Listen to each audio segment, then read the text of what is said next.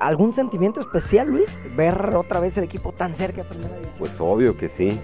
Estoy, aunque no lo creas, yo creo que igual de nervioso que, que todo el cuerpo técnico, que los directivos que tan buen trabajo han, han desarrollado y con la esperanza fija y, y con bases sólidas de que podemos llegar a, a subir a primera división.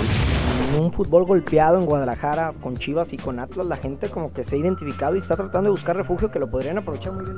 Eh, cuando apareció el equipo de Universidad de Guadalajara en primera división, que fue en el 74, precisamente estaban a la baja equipos como Chivas, como Atlas y el mismo Jalisco, que todavía estaba en primera división.